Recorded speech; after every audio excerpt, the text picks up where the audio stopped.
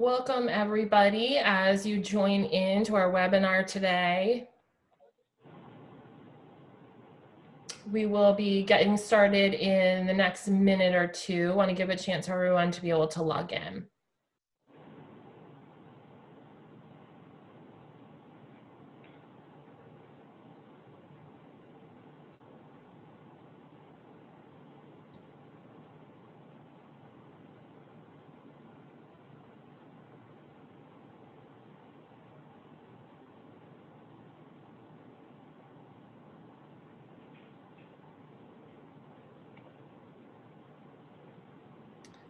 Looks like we have a fair amount of people joined in, so I'm just going to give it another minute um, to make sure that we don't have any issues. Uh, looks like we're having much more success than last week when we had a couple of uh, technological difficulties, but uh, looks like we have a really great group um, joining in today. So just give it um, another minute and then we'll get started with Julia.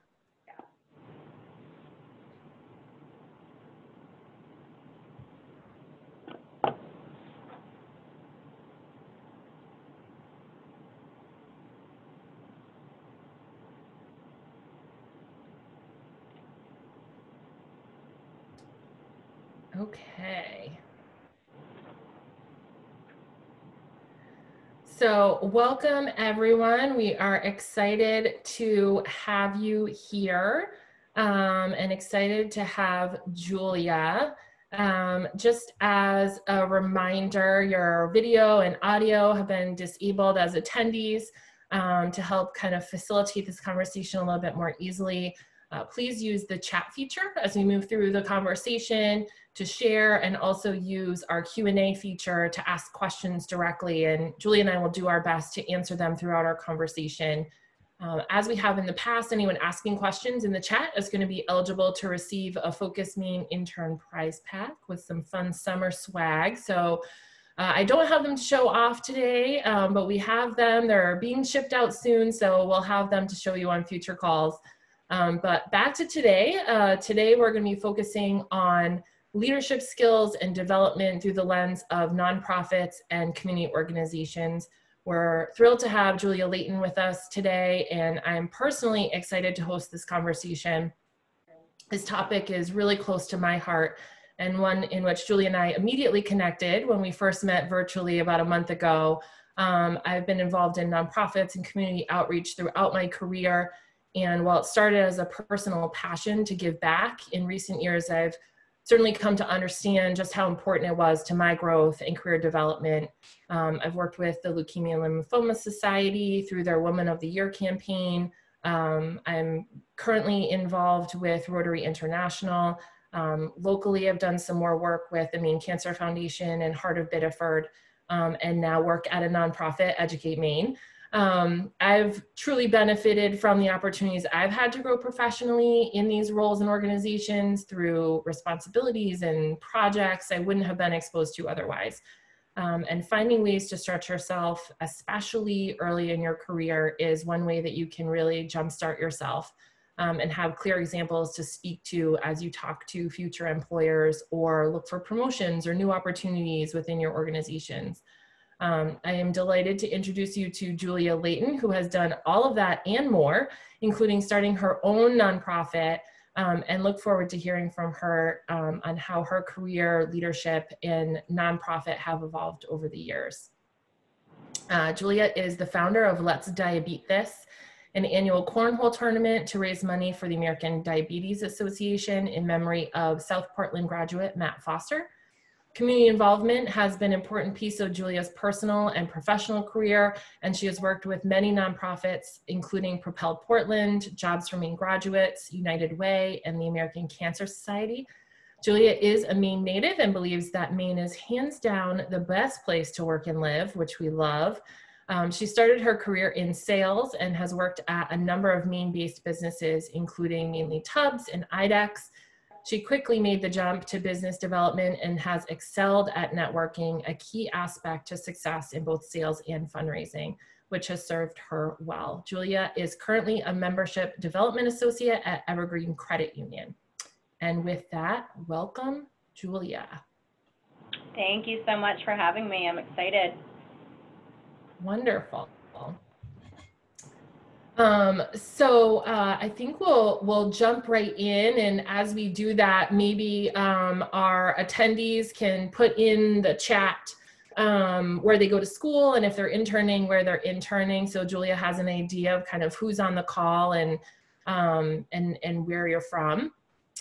Um, so just kind of jumping right in, Julia, you started this group or, or this uh, nonprofit, this tournament, um, Let's Diabeat This in 2016. So tell us a little bit about the organization and how it got started.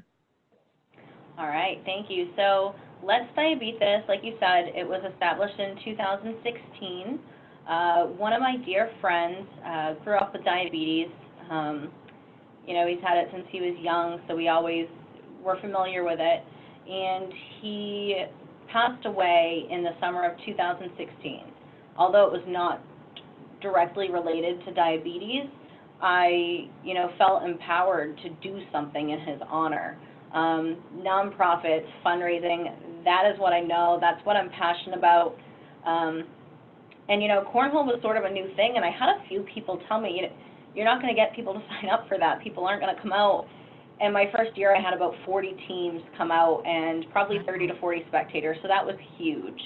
Um, after that first year, we just kept going. You know, it's it's a once a year. I hope to expand and do a couple different things. Um, you know, I'd love to do a skydiving event. That's hopefully to come in the next couple years. A little bit more uh, dedication to detail for that, but I just, you know, I wanted to do a cornhole tournament. I put out the invitation on Facebook, and as soon as people started signing up, I said, okay, I got to get a raffle table and I got to get a venue, and then the rest kind of just started falling into place.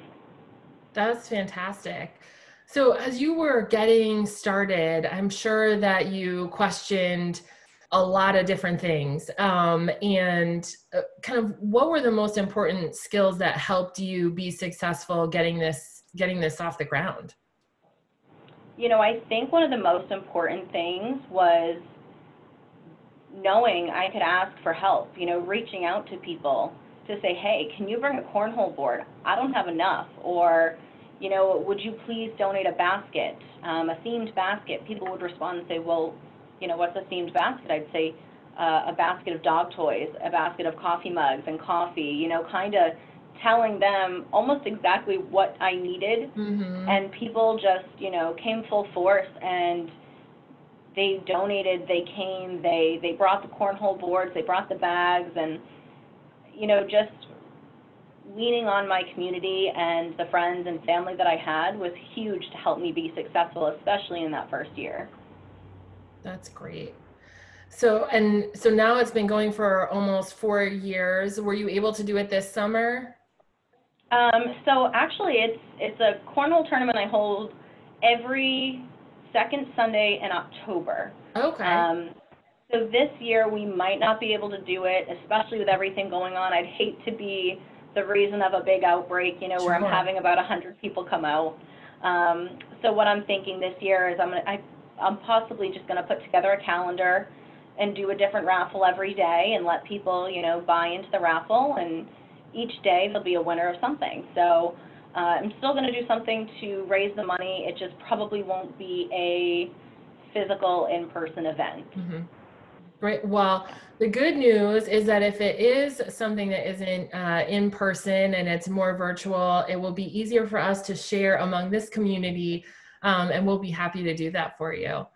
Um, Thank you. I appreciate it. Yeah, absolutely. So, um, that's kind of one aspect of your life.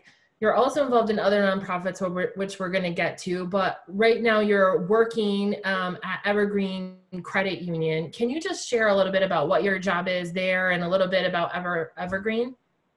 Yeah. So Evergreen is a credit union right here in South Portland, Maine. Um, we've got three other branches: um, Naples, Portland, and Windham.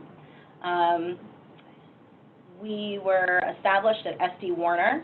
Um, you know, the mill in Westbrook, I believe 1959, don't quote me, I apologize. Um, but you know, it, it, started as a small business credit union and it started to grow. Um, and my job here is member development, as you mentioned. So what I'm doing is I'm working with local dealerships to partner with them to help them with loan applications and getting, you know, people approved for the vehicles, boats, RVs, um, all that fun stuff. We also have a program called ECU at Work that I'm a part of. ECU at Work goes into local businesses at no cost, and we do lunch and learns. They're usually about 25 minutes long, and each lunch and learn is dedicated to a different financial topic. Um, and then we do free one-on-one financial counseling for the members as well. So my day is all about, you know, networking and communication and bringing people together and really still just helping as many people as I can. That's great. Thank you. So, do you um, do the membership, like the outreach to potential businesses that might be interested in having one of those lunch and learns, and and that is that kind of your role as the outreach part? Yep, absolutely. So, you know, I'm constantly looking at, you know, best businesses, local businesses, um, buy local, seeing who's on their, you know, business list. I'm always looking for different business lists to reach out and say, hey, this is a free service we offer. You know, it really helps to benefit their staff. Um, people who are financially stable, they do better in the workplace, they're happier, you know, they're, they're more apt to just thrive in the workplace. You know, mm-hmm. you're not stressed with financial burdens and all of that. So, you know, managers and, and owners love for us to come out and sit down and usually once we show up once, they schedule us back within a month or two or the next quarter to hit another topic. You know, it's it's really helpful to these business owners and the, the staff. That's great. Um, do you ever work with college students at all? We haven't yet. Um, that is something that you know has been discussed, and I'd love to get involved with universities and colleges. We've done, we've gone to middle schools, we've gone to high schools. You know, we've created this budgeting game where you roll the dice, and all of a sudden you've got a $500 car payment or you know a car accident, and you have to figure it all out within your budget. It's it's really fun to see the kids' reactions. Um, but I think it would be awesome to get out there and see if we what we can do with a college student. Excellent. So, in your role um, and the work that you're doing, what is the most important skill or the or the top few skills that are important for your success at the credit union? Absolutely.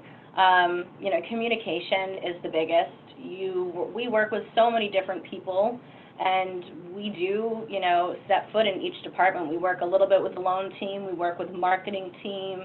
Um, you know, we're, it's communication is huge. Um, and then networking, of course, being able to network, go out to events, meet business owners, um, or even employees that I can chat with that have connections. You know, I went out to um, the Brewers Guild uh, a few months back, or quite a few months back now, and um, I met quite a few people who showed up as vendors, and we talked about ECU at work and coming out at no cost and working on these um, financial lunch and learns, and we got a few people who were really interested in having us come out. So networking is huge, but again, communication is, is such a large piece of it. Yeah. So I'm going to throw you a curveball question here. So you brought up networking. Um, yep. Networking can be a really scary term, especially if you're early in your career. Um, you're not sure that you have something to offer, right? I mean, I've know I've heard a lot of times, you know, networking is about like finding someone that you can have that give and take relationship with. Um, it's you know what is networking for you and what advice would you give to students when we're saying like networking is, is, an important skill you know you need to learn how to network? What what would be the the thing that you would tell students about networking knowing your mm-hmm. background? So the funny thing about me is i've always loved to network. It's it's kind of my natural ability. Uh, i was going to the cumberland club in portland when i was 17 years old with CEOs and VPs and, and all these people. And to me, you're just having a conversation with somebody. And these people, they want to have a conversation with you. You might only be able to say, you know, I graduated from high school, I volunteered a few times, and now I'm at this college. But then they're going to ask, well, what are you going to school for? What do you want to do? And that right there is a connection. They personally might not be able to help you, but they're they're going to say, "Hey, I had a great conversation with this person." They're going to talk to somebody that they know, mm-hmm. and that itself is networking because now the person they know can connect with you, and they're going to be able to help you, you know, thrive in your career or just move forward with whatever it is you need.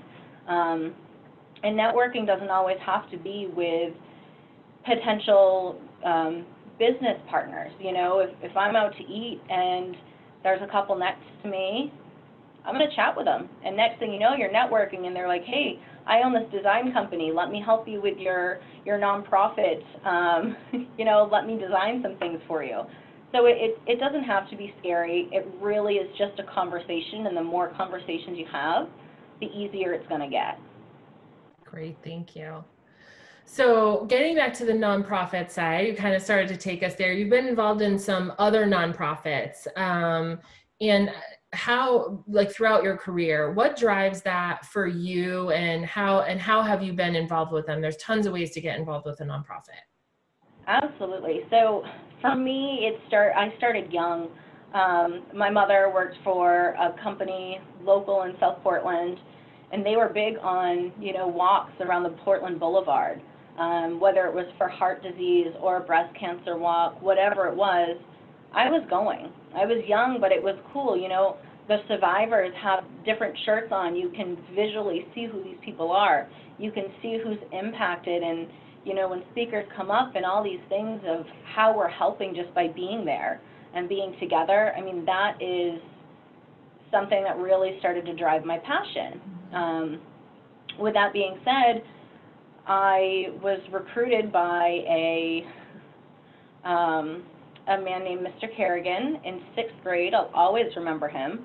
And he said, "Hey," he watched me, you know, doing a a team building exercise. He said, "I think you should try to get into Reach."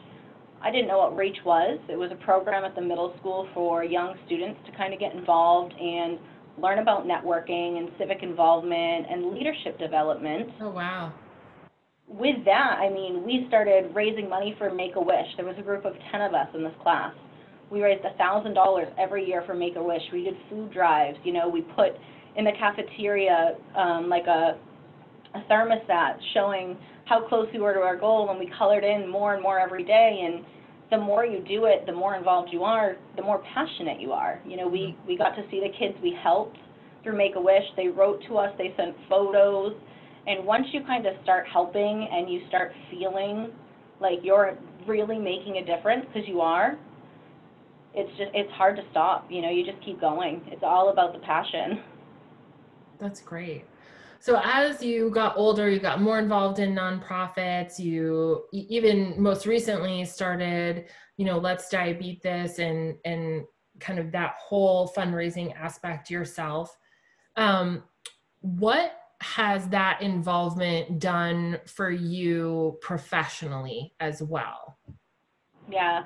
So professionally, you know, I really it all comes back, you know, delegating, communication, being able to work with groups of people, knowing when you can ask for help, knowing when to listen and then when to speak up, you know. There have been times where I've had these ideas for my nonprofits and my friends have said, "Hey, well what about this?" Mm-hmm. And instead of dismissing the idea because, you know, I might think I have a better idea, you know, kind of diving into that and, and looking further. So, you know, that whole team aspect um, has been huge within work. Time management, um, mapping, which is huge. Uh, you know, we're doing that constantly with every event that we're a part of. Mm-hmm. We are mapping from the start to the end to make sure we don't miss a beat. Um, so and when you say really, mapping, like project planning and that kind of thing? Yep, absolutely. Start to finish. Yeah. So I know that for me, as I think about some of the things that I did along the way, I was just I was just doing them, right? Like you you want to get involved, there's an opportunity, you're like, yes, I can help with that, or or that sounds exciting, or you know, doing a big fundraising campaign. Um, but looking back, seeing where I am now, looking back at my career during those times, I've definitely seen more than than what I thought I was getting and in the moment, right? Like I can see now that then later I went into a job interview or something else and and they asked for an example and I was like, actually, I I can think of some things that weren't job related. Did you have any moments like that for yourself along the way, either um, through an interview or just like looking back and thinking, man, I really got this new skill while I was doing this. I did not see that coming. Yeah, absolutely. Um, you know, most of my jobs in sales haven't been event planning. They have not been really, I mean, sales is networking, but a lot of sales is destination. It's people coming to where you work because they want your product. Um, so then having um, people, or I apologize, so having, um, you know, all these moments where I am networking, I am doing event planning, I am looking at every minor detail. I mean, that's huge for my role today. I remember, you know, I over the last 18 months, um, I worked in a couple places and none of them really fit well. Mm-hmm. And you know, the downside of that is what that looks like on your resume. But you know, my my now boss, um, she sat me down. We had an interview and she brought up my resume. And the thing was, is she kind of saw a little bit of everything I was doing at each place, including my nonprofit and mm-hmm. all my volunteer work, and said, you know what? I have to meet this girl. I've got to sit down and talk to her. And now I'm in the perfect fit role that really encompasses encompasses all these skills that I've acquired through the nonprofits, through volunteering, and, and all of that. That's awesome. I love that. Um, we've had a couple of um, questions come in. Um, one of them specifically around your work with JMG. Um, and the question um, being, what was your role with JMG and how um, are you able to help? J- are you currently involved and are you currently working with um, JMG students? Yeah, so, you know, this funny story. Sorry, I'm just going to interrupt one thing. Maybe not everybody on the call, call knows what JMG is. So that's Jobs for Maine Graduates. Um, and so maybe you can just share really briefly what that is a little bit as well. Just I don't know everybody knows what it is. So yes, so most schools have a class called Real Life or Senior Seminar, um, and those are pretty typical to be in every high school, but uh, could be more now. Last year there was 73 schools with a JMG project within their school, which is one teacher. Um, they talk about career development, civic involvement, um, leadership development. They really help to you know, whether you're learning about how to apply for college, how to write your college essay, how to interview, you know, team building, it, it's all of these things that are going to prep you for real world situations. Mm-hmm. Um, so I started, I mentioned REACH in middle school. Um, it was Project REACH. It was the stepping stone into JMG once you're in high school. So I started in sixth grade, and by my senior year, I was the president of JMG in my class we every year would go to a career development conference. Um, typically, it's juniors and seniors. Mm-hmm. Um, I went my junior year, I went my senior year, and career development conferences, 600 to 700 students from across Maine. Wow. They recently just started working with Massachusetts students, and they compete for scholarships.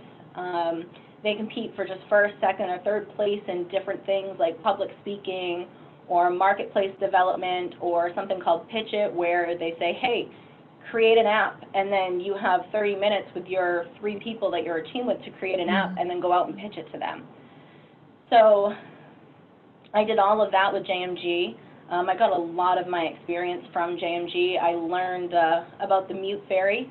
Seventh grade, one of my teachers said, You're not allowed to talk anymore. Listen to what everybody else has to say.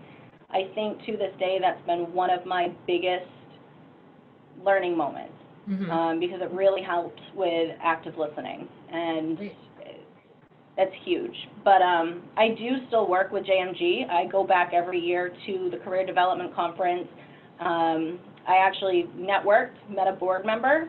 That's how I got my job at IDEX. Um, so it was kind of cool to see that all come full circle from the volunteering to giving back and then getting a career do you have to be formally involved with JMG to get involved? So thinking about these students who are on the call as they work towards graduation, um, either while they're in school or um, after they graduate, if that sounds like something they might want to get involved in and helping to like mentor students uh, how would they go about doing that? Is that is that an option? Yeah, so honestly, if, if you are somebody who wants to get involved with JMG, you're helping anybody from, like I said, middle school to high school students. JMG most recently got into the colleges, so depending on what college you're at or graduated from, you can find out who the JMG specialist is at that college. Mhm. Um, maybe even look back at your high school and say, hey, who's, who's the JMG specialist? Can I get their contact info? And just reach out, or reach out to me and I can connect you um, with, you know, a, a few different people who can tell you about different events, put you on the list so that they're always reaching out to you. Because you don't have to be um, a previous JMG student to stay involved. That's great. Thank you. Um, I know that my intern, Elson, is listening into this. Elson, if you uh, have the opportunity during this um, call to uh, maybe get um, Julia's LinkedIn um, profile link and put that into the chat for folks who want to connect with Julia, that would be really helpful. I'll make that ask of her from from Yes, afar. thank Thank you. you, Allison, in advance. Um, so uh, another question for you, talking about kind of leadership, which we're really bringing all of this together um, under the the umbrella of leadership. Do you see yourself as a leader, and did you always see yourself as a leader? Uh, yes. Um, I've always said I have, you know, the leadership style of a coach. I'm Mhm. always inspiring my friends, you know, whether I'm directly, you know, related or directly involved with their work, whatever it is, you know, friends have always come to me, they've come to me for help. Um, I was always the one getting our groups of friends together or, you know, doing a camper trip, camping trip or senior skip day, you know, kind of saying, okay, guys, come on, let's go. Um, I just, you know, again, networking has always come naturally to me. So anytime I can get people together or get a good camaraderie, get people excited to do something, I've always wanted to do it. Um, so leadership, it, it's always been there for me. I've, it's, I can't think of a time where somebody didn't say, you know, you're, you're a great leader. You should go into communications. You should go into helping people, whatever that was. So I love some of the examples that you just gave because I think that sometimes as we move into early career and you're graduating, um, you start to think of leaders as more of people leaders, um, business leaders. Like, well, I'm not a leader in my organization because I'm not the president, or I don't have people working for me, or, you know, I'm not a supervisor of this department um, and you start to I, I really think start to change what you think a leader is because you start saying oh that's the leader of my organization. Um, how has the like term leader been shaped for you? And kind of what advice would you give to interns as they're figuring out their own leadership style and how to think about that?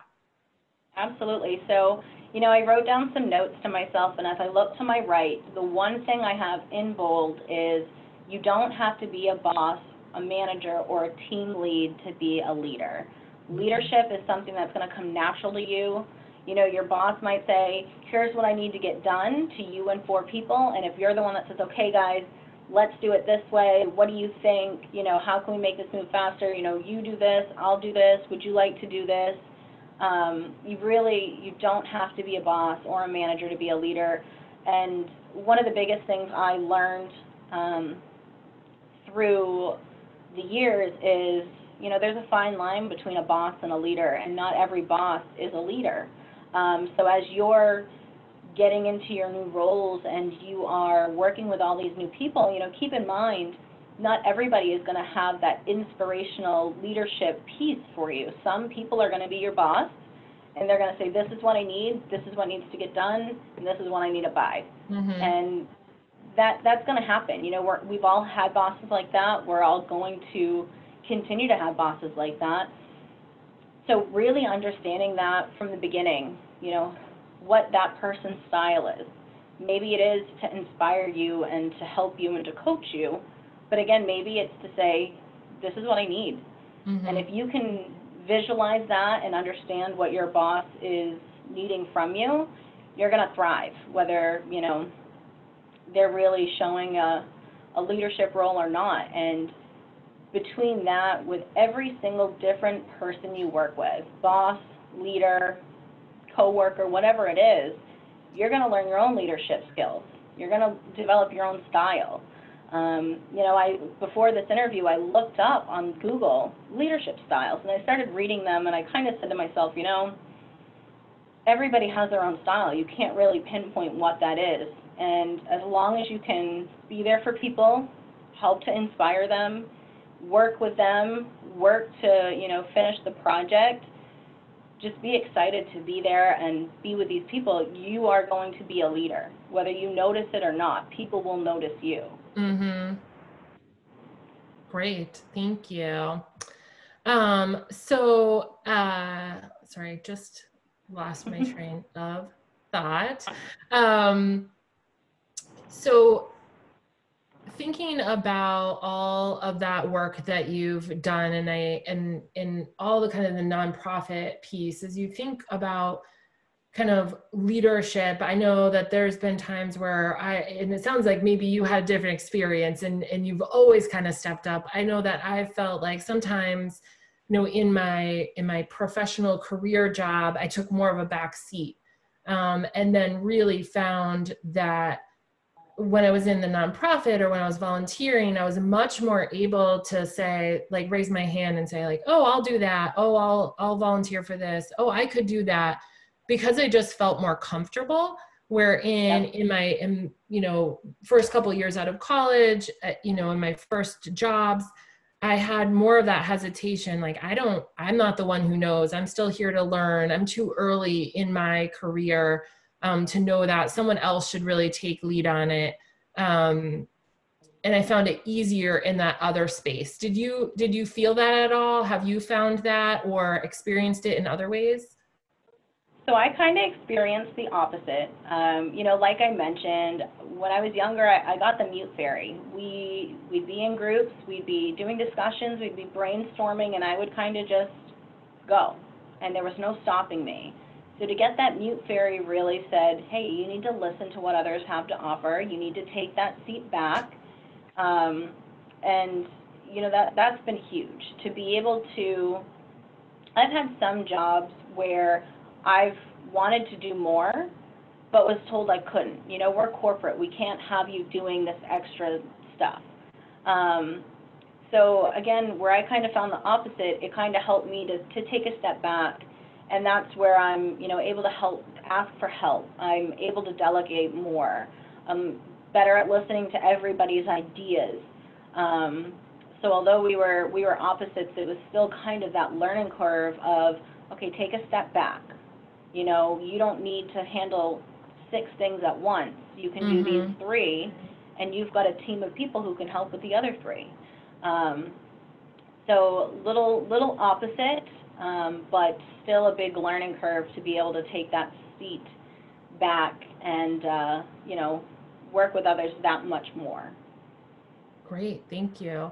So we've had a couple of questions come in about starting your own nonprofit. So want to spend a little bit of time there. Um, we had someone ask, is it difficult to start a nonprofit? And then um, Emily asked, what challenges have you faced um, at your nonprofit? How did you overcome them?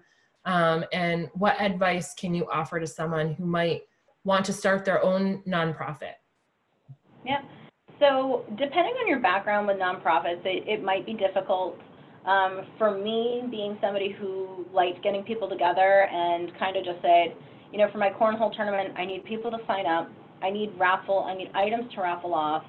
Um, and then I need somebody to help me with a bracket. That's really where I started. I kept it as simple as possible. And then as those things came together, I just started adding in smaller details. Um, one of them being, you know, like best team name wins a prize. You know, gets people more excited. It's, it's the little details. So although it wasn't difficult for me to start it, um, it's just about paying attention to all those fine details to make it come together smoothly. Um, and with the challenges, I think the biggest challenge for me was getting the 501c3, um, the, the tax identification number. I didn't have anybody to go to. I'm looking back. I had a lot of people I could have probably went to, um, but I really wanted to make it happen. So I, you know, found a company. I chatted with them. They helped me figure out what I needed to do to get the 501c3. Um, they told me about the cost associated with it. That was great. Once I got the 501c3, the tax identification number, I was able to get sponsors. I was able to get bigger raffle items because now I'm a legitimate nonprofit and people can, you know, write it off on their taxes. And so they're able to give bigger donations. Um, one thing that was super difficult w- was the taxes. Once tax season came around, I reached back out to that company that helped me get started to say, hey, I'm new at this. What do I need to do? What can you send me? How can you help? And just use it as a learning curve. Again, you know, just knowing, hey, I have people I can turn to to ask for help. Um, so for overcoming those challenges, really just just seek out help. Every, somebody's going to help you. They're going to want to help you, and you're going to learn in that moment. Um, That's great. So uh, thinking about that too, right? With um, reaching out, who are we? You know, who could? If a student was thinking uh, that, okay, that's what I need to do next. I need to get, you know, get myself to be a um, a nonprofit in that designation. You know, is that as easy as Googling? Should they be going to specific organizations or? doing suggestions? I think it depends really on, I mean, I don't know so much about other states or anything like that, but I know if you have somebody who's been doing a nonprofit, you know, ask them what they've been doing. If if you guys wanted to reach back out to me and say, hey, who's the organization you use to help you learn all about the 501c3 side and the taxes, you know, I'm happy to share that with you. Um, where I, I'm always still learning, um, I'd feel more confident in helping you make that connection um, to somebody that knows all the ins and outs and can answer every single question you have in detail and feel confident you're getting the newest, um, most pertinent information to move forward. So. Okay, great. Thank you. Um, so uh, Rebecca is has asked the question: um, How do you incorporate giving back into your daily life? Um, is finding a balance between working hard at your job and your passion beyond that difficult? Um, I I know that for me, if it's I've gone through peaks and valleys on that, and and I think one of the hardest things that I've found is reconciling that for myself and just knowing um, when I need to be okay with taking a little time off, right? Like when I can put in all the effort or knowing that, as an example, this summer, the work that I do with uh, my Rotary Club is going to kind of be on pause. Like I can say that the PR that we've done this summer is not up to the snuff that it was earlier this year because I'm doing all of this work for for the internship program and and just kind of having to reconcile that um, but how, how has it worked for you and, and what has your experience been? So for me, um, you know, luckily right now my cornhole tournament is one day a year. I've got a full year to start prepping. Um, I stay organized. I have, you know, tote boxes with everything I need for every year, from tape to pens to raffle tickets. Just making sure I stay organized is number one. Um, number two is I'm on a couple different boards. I recently was just on the American Cancer Society board for a masquerade ball that we were working on. Now the great thing about that is that's once a year, but it's in April. My cornhole tournament is in October. Knowing that, you know, the beginning of the year I have one thing and the end of the year I have another to focus on really helps that balance. Mm-hmm. Um, you know, being on the board of Propel, that's once a month. And then being on the board of Propel, my um, role is to work with the nonprofits and to host events at beer breweries to showcase that nonprofit. Um, so I think what I do for that, this year's a little bit different, but typically we do three events a year. So again, those are really spread out. Um, so as long as I can say, hey, you know, here's a view of my year. Mm-hmm. Once I'm done the American Cancer Society, I'm going to start focusing on this. Once this is done, I'm going to focus even more on the cornhole tournament. But again, throughout the year, I'm doing small things to check off the list as I have time. Um, I also do, you know, private fundraising. I worked with this fantastic family. I just happened to meet um, this great woman on at, at, an event. And she said, listen, my brother has lung cancer. I'm a police officer. I cannot solicit any money. And I said, well, let me help you. And next Mhm. thing I knew, we had about four months planned out of fundraising. So that there, I did take on a little bit more than I could handle, although I handled it fine, but it did take away from a lot of my, you know, personal time spent with family, my boyfriend, my friends. But again, it's something I'm passionate about, and they understood that, and I invited them to these events to come Mhm. see, you know, what I've been working on. Um, but the big thing really is just organizing your time, you know, and, and like you said, right now you're working on Focus Maine and the internships.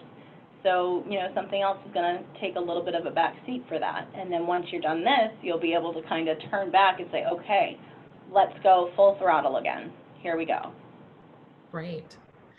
Um, so another question, kind of following in some of the things that we've been talking about, um, and kind of what it takes to start the nonprofit and kind of get things going.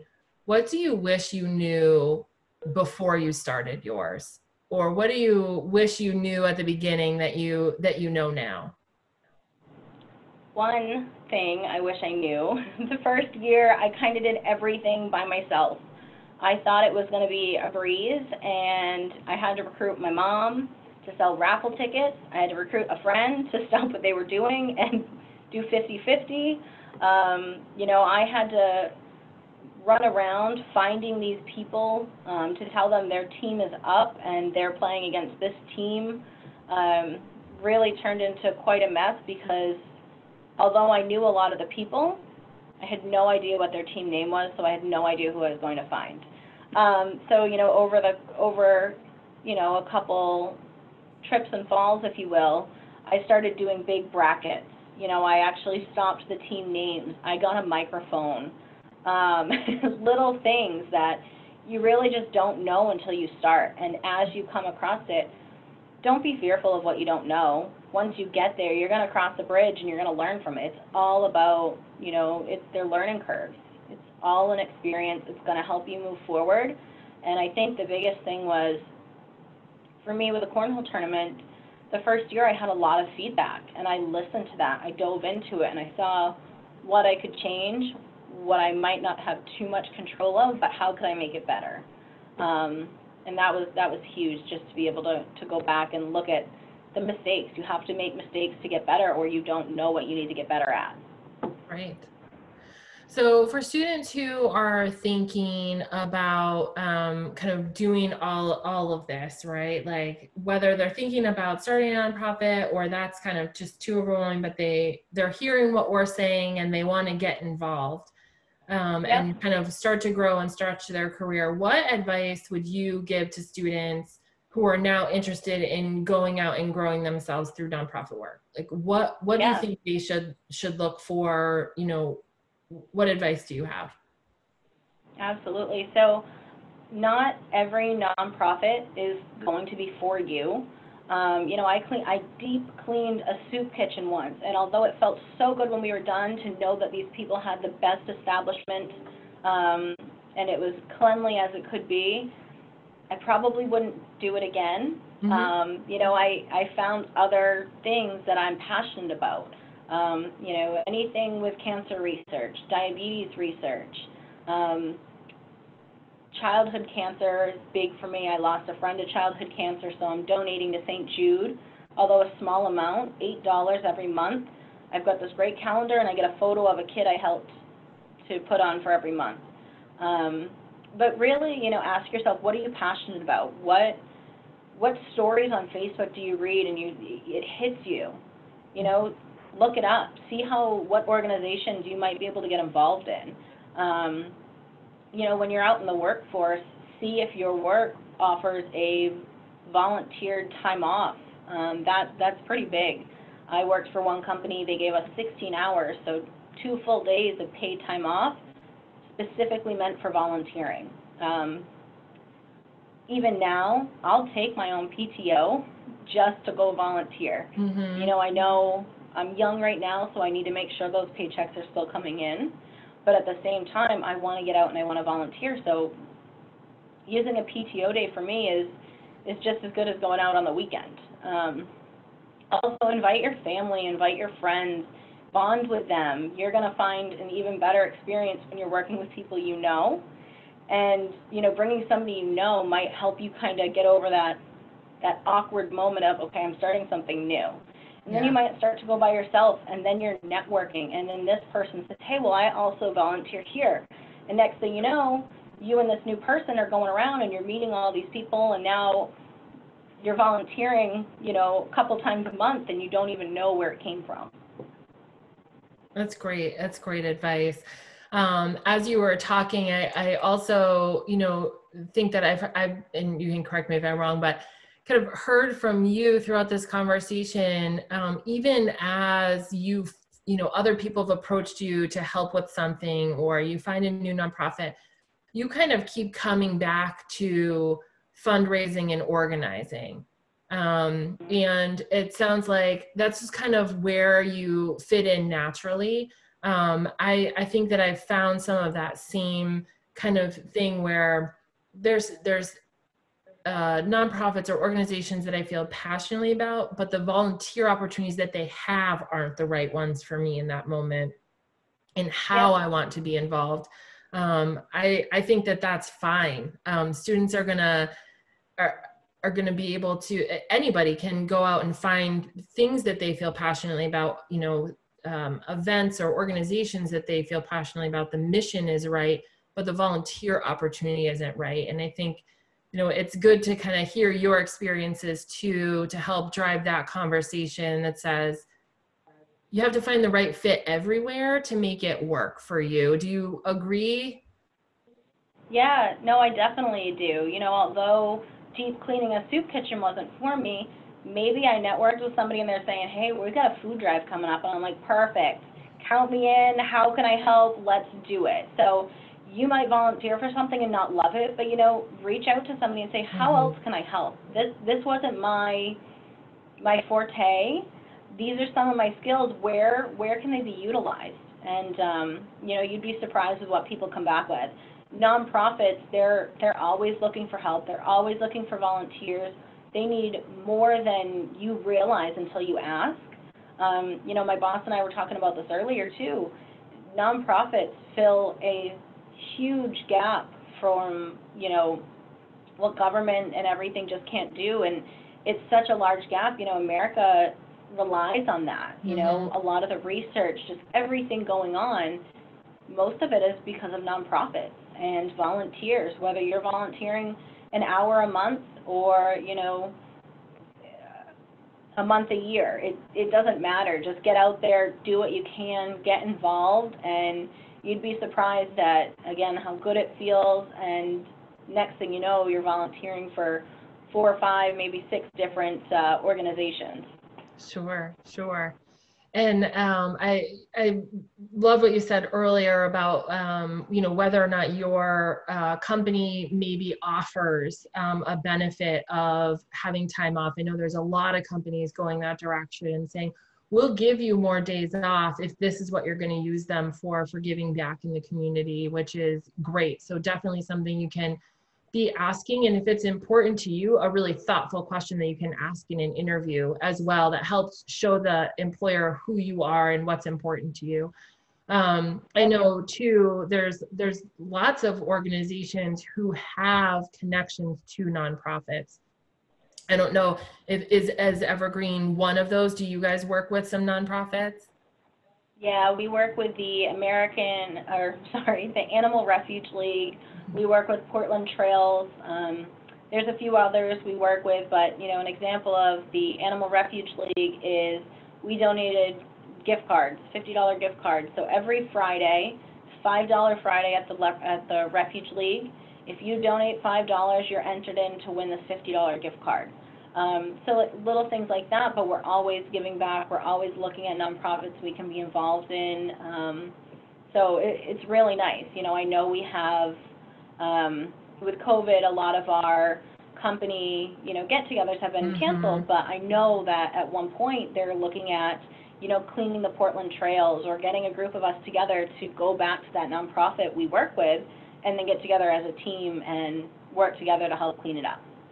Awesome. Yeah. And I think that that's another great thing for people to think about as they're you know organizing themselves or after graduation getting into a company you know sometimes it's easy to find your way through those things um, just by saying okay well who is my organization already involved in and i'm going to have a foot in the door through that um, there's probably someone here who can make an introduction for me to help understand what what might be needed um, and as you're as you're growing as you know you said you were on a number of boards. I've been on a few boards. It's a great uh, way to learn a ton of different things um, about managing and leading organizations.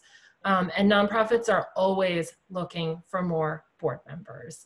Um, women are notoriously left off of boards. Um, people of color are notorious le- notoriously left off of boards in America. Um, and it's something that in today's world, um, many boards are looking to do um, and expand in that way. So even as a young professional, even in college, you know, I, I certainly would encourage everyone if there's a nonprofit that you're interested in, look at ways to get involved in and see if they're looking for board members, if there's a way that you could help support it. Yep. And um, I just, I saw Dexter uh, reached out and asked about, you know, if I wanted to continue to grow my nonprofits or if I wanted to keep them relatively small. Um, you know, it just brings us back to the conversation earlier of time management and what I have mm-hmm. time for. Um, you know, you have to have that, that work-life balance. And for me, my volunteer work is my work. It's, it's something I'm passionate about. It's still my working hours. Um, you know, I, I mentioned I'd love to do a skydiving event. Um, sometime in August, you know, if I can get 10 people to raise $500 each, by the end of the day, we're going to have $3,000 to donate to um, another nonprofit of our choice, or to keep it with my Let's Diabeat This mm-hmm. and donate it to the American Diabetes Association. I found that that is a much larger, there's, a, there's more planning involved with an event like that. So I've kind of put that on the back burner. I'm going to stick with my cornhole tournament for now. As my time starts to free up, as I feel like I'm that much more confident in mm-hmm. getting things done, making sure again I have that time, then I'll start to, you know, make it bigger. But you know, it, it, it just might not happen, and that's totally fine. I'm doing, just once a year is enough. You know, we, we bring in a few thousand dollars, and that, that alone is a great feeling. So mm. if it doesn't get bigger, that's okay. If it does, you know, that's great. Um, but one way the, or the other, I'm, I'm not too focused on what's going to happen as long as it keeps going. Great, thank you. So it's a little bit off topic, but we're, we have a couple of minutes left and um, just give people a last chance to, to ask any questions into the, the Q&A. As you and I were talking earlier um, today, you um, told a story which I thought was extremely relevant to our interns. Um, at one point earlier in your career, you worked for a staffing company. Um, and yep. you to was you were talking we, we, were for those of you people listening, we were talking about interviewing and, and being comfortable in interviews and how to be interviewed. And that really I was just interviewing you today in this conversation. And and you shared an experience that you had with um, a young woman who you were interviewing for a position. And I thought it was extremely relevant for for these folks to hear about how interactions can change and the perceptions that people can have of you um, as you're interviewing um, if you really just share who you are. So, would you mind kind of sharing that story again?